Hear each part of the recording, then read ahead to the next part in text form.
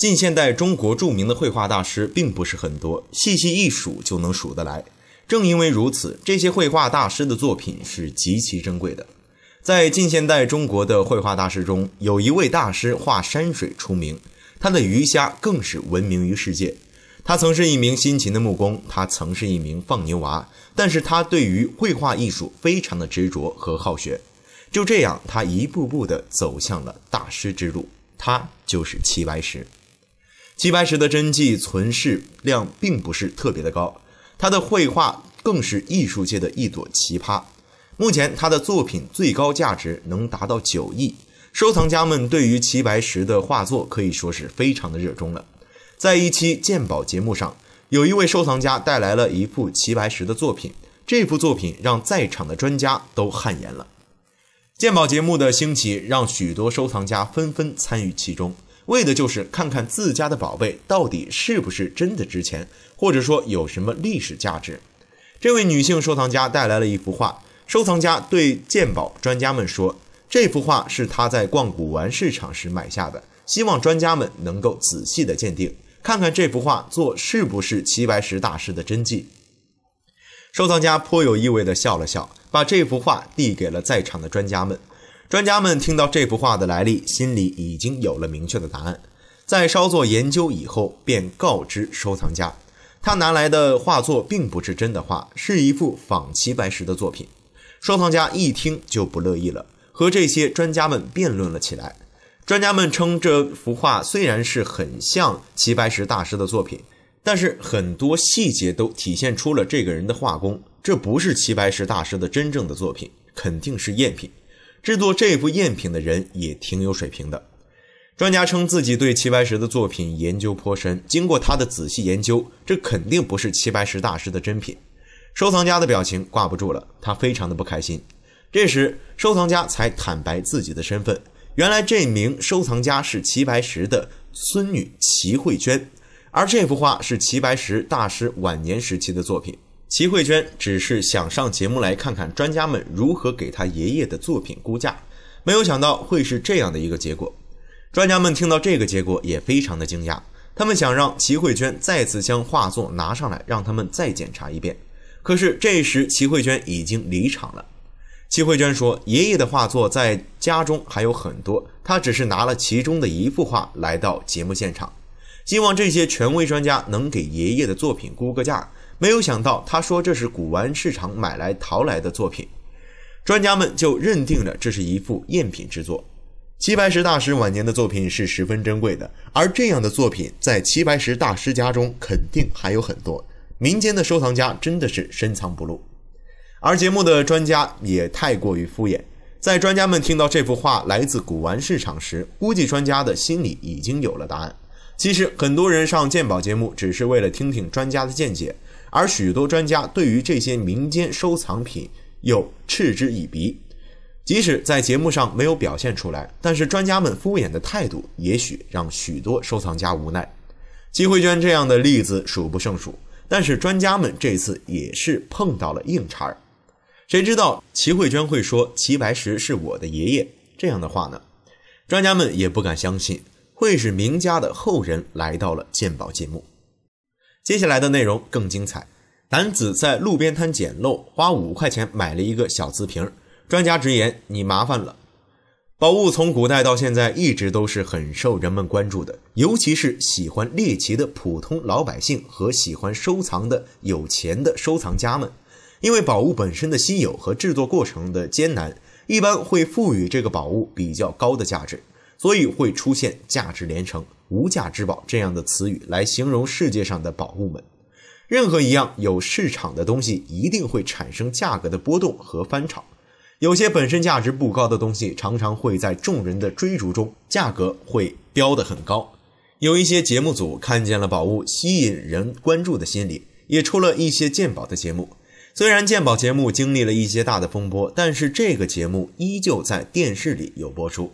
而且就是靠着不一样的宝物，更加会吸引人们的争议和噱头。今天我们要讲的一个故事，就是一个奇葩的宝物事件。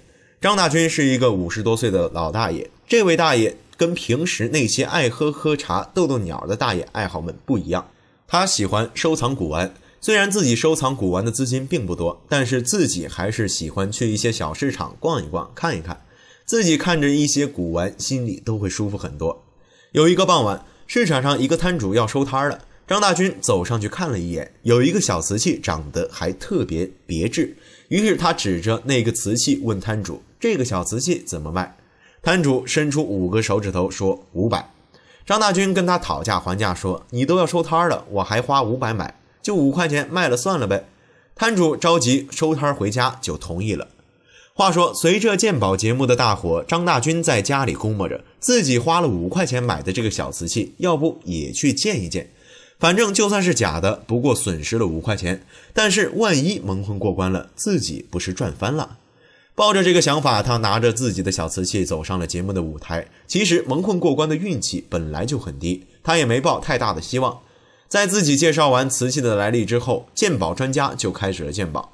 在专家们完成鉴宝顺序之后，大惊道：“你麻烦大了。”张大军也吃惊地回答：“怎么？”专家们说：“这个小瓷器是黄釉双龙瓶，出产于唐代，一般是王公贵族的陪葬品。你手上的这个小瓷器，可能是盗墓者盗出来卖给市场的。你要是不交，不得惹祸上身。你要是现在卖出去，大概市值在一万左右，你看着自己决定吧。”听了这话，张大军倒是没那么慌了，因为自己又不是盗墓者，这个是自己合法买到的。不过不怕一万，就怕万一。既然自己五块钱买到的，那卖一万也不算亏。于是张大军采纳了他的建议，将这个黄釉双龙瓶卖给了博物馆。所以我们在做一个决定的时候，头脑一定要清楚，是保留或者是取舍。尤其是古董类的文物，要是来路不正，还是不要保留的好。如果你继续保留，说不定会有人找上门来呢，麻烦就大了。接下来的内容更精彩，农民挖出东方神木，专家提出上交被拒，预估值五个亿。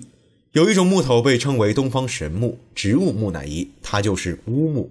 在古代，乌木都被用作做辟邪之物，并且只有贵族才有资格享用这种木头，它的价值很高。接下来我们来说的就是一件跟乌木有点关系的事情，说来也有一些好玩。江西有一个农民无意之间发现了乌木，于是请挖掘机过来帮忙挖掘。没过多久，就挖出了一根巨大的乌木。这个乌木被专家估价五个亿，眼看就要一夜暴富了。但这个时候，专家及时赶来，说要把乌木上交给国家。因为这件事情，专家和村民闹了一个一拍两散。事情发生在二零一三年九月份，主要是江西修水县西岗镇的梁才。说来这件事非常的凑巧，那天梁才正在河滩上干活，却发现有一根树枝冒了出来。梁才非常好奇，就过去看了下。在摸了一下树枝之后，他发现手上有一股树木的清香味儿。这个味道让梁才非常的诧异，是不是有什么宝贝埋在下面呢？第二天，梁才就叫来了一辆挖掘机和推土机。挖掘的过程中，发现了很多不可思议的地方。他发现这根树枝很长，连挖掘机都挖不到底，所以挖掘的时候费了很长的时间。村民们纷纷来围观，不少人都嘲笑着梁才是不是疯了，没事挖个破木头干嘛？在经历了两天的挖掘之后，一根巨大的黑色木头终于映入眼帘。木头上散发着浓厚的香气。虽然梁才并不是什么专家教授，但他知道这应该就是那世所罕见、无比珍贵的乌木了。这样一来，他真的是要发大财了。就在梁才找来吊车要把这根乌木吊走的时候，林业专家却突然赶到了。他阻止了梁才的举动。专家在看到乌木之后就被震撼到了。这根乌木长度足足有二十四米，如此来判断，这乌木也应该有一千年的寿命了。而它的重量更是有八十吨，就算是放到现在市场上来卖，至少也要卖出去五个亿。专家就和梁才说，这样巨大的乌木必须要上交给国家，不过也承诺会给他一定的补偿。但梁才自己肯定不愿意，毕竟自己也花了好几天的功夫，终于把这根罕见的乌木给挖了出来，怎么可能愿意呢？后来这件事情也没有个确定的结果。为了这根乌木良才也一直在跟专家进行争论。不知道小伙伴们对于这件事情是怎么看的呢？你们认为这根乌木到底该给谁呢？好了以上就是本期的内容。如果您喜欢我们的节目欢迎订阅点赞转发感谢大家的支持。